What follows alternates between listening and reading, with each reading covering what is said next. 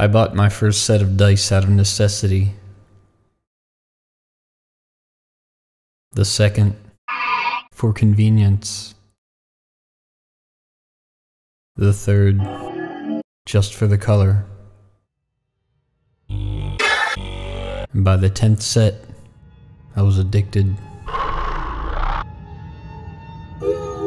But now I am lost in this arcane habit, lost to loved ones, lost from how I used to be. For what happens when your dreams become polyhedral and the hope of salvation lies in a new set.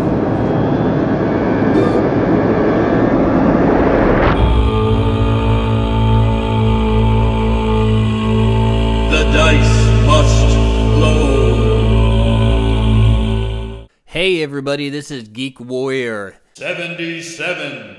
and this is a video about dice if you picked that up from that ridiculous intro.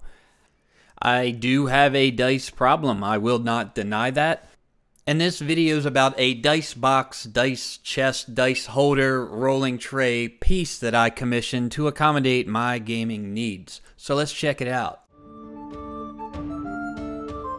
So let's start with what my standard setup would be. Handbook, notebook, character sheet. And then the, the subject of the video, the dice. Big messy pile of dice. So this is uh, a reenactment, but it's accurate. This is what I do, or would do. Make everyone's table wait. Roll the dice, dude. Dude, come on, let's go. Look at this guy. Are we playing or not? It doesn't. And once we were ready to go, it was just a matter of time before. Oh, sorry, man. Uh, whoop. hey, man, that's cool. Accidents happen. But internally, I'm like. So, not only was I annoyed with the tabletop organization aspect of my dice, but I also didn't like how I was getting them to the session. Started out with the velvet little satchel, and then as I got more dice, I moved on to the classy Ziploc bag. And finally, there was the noisy mason jar with the dice in it that uh, had a distinctive sound everywhere I went.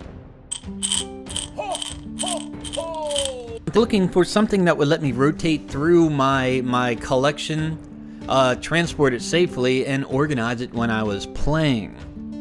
So I contacted Hal Zucati on Etsy. He's a maker of high-end tabletop accessories like dice towers, rolling trays, exotic metal dice, uh, heroin, for lack of a better term, straight heroin. Anyway, on his page he had a request a custom order button that caught my eye. So I drew up a basic design and sent it out to him. He replied with a 3D proof and suggested some improvements to my design, uh, the biggest being the lid slash rolling tray. So I agreed to the plans. He quoted me $75, and in about a week, it showed up. Ironically, the day that it did show up, I didn't have any dice to put in it. I was trading with someone and left my whole collection in my wife's car. So I decided to see what else would fit in this while I waited for my wife to get home from work. Its unique design could accommodate many things of different shape and size. I'm talking about things like celery, jelly beans, magic beans, even confidential information. Bananas, right? Alright, enough of that. The idea was for the organizer a piece of wood, six rows milled into it. Each row would hold six die. I do not use the D100, so I didn't accommodate it in the design. Oh, hang on. Let me get this. There you go. to keep the rolling tray attached to the organizer, uh, there were magnets embedded into the wood. And believe me, these are no weak magnets. These, these are battle magnets. They would strike fear into the hearts of my, my dogs. Well, most of them. So powerful, in fact, were those magnets that I could be in a crowded parking lot. I forgot where I parked. And I could hold up one half of the dice holder and it would pull me towards the car.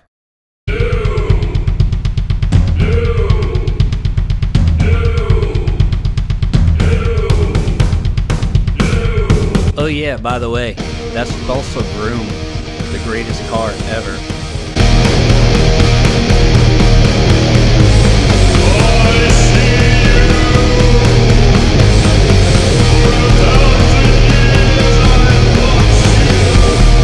Anyway, back to it. On the inside where the stock was removed, you can see there's mill marks still in there, giving it sort of a rough appearance.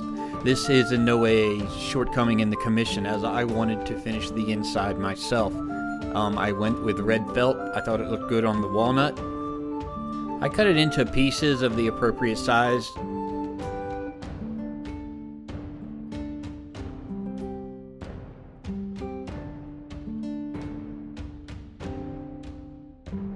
I used rubber cement, but not as a contact adhesive. I just sort of painted it in there, then pressed the felt in there while it was still wet.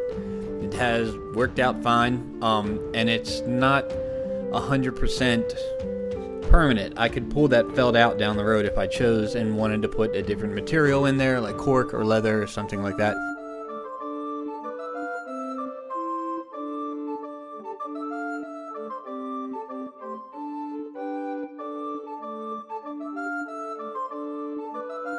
Once I got the felt in there, you could really see it was a good contrast between the walnut and the red felt. Honestly, I love it. so, out with the old and in with the new. Let's get this thing on the table. Even with the felt lining, there was still enough clearance for the die to roll free when all closed up. So I ended up making a cork sort of insert to hold everything in place while transporting it, and that's worked out pretty well. Another unforeseen perk uh, with this organizer and tray is when they're flat on the table, the battle magnets will actually pull the whole thing into sort of a cohesive unit. I should also mention that I have abandoned the classic character sheet and notebook. Um, I've replaced it with an iPad and an app. It's uh, Lion's Den Fight Club 5, I think. Um, I've really been happy with that. Cuts down on all the stuff I got to take over. And here's some obligatory rolling footage. The felt did a good job of receiving the die, not letting them bounce too much. If you rolled within reason, it would stay in the tray. If you rolled like a maniac, it would bounce out.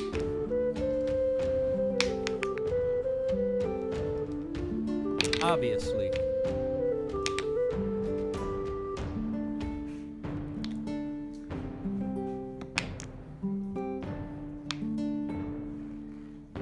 And of course, saving the best for last, shutting down those rowdy rollers at my table.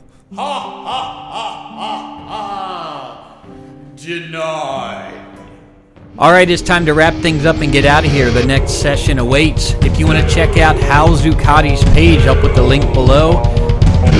Thanks for tuning in, and I'll catch you guys on the next video. Take care.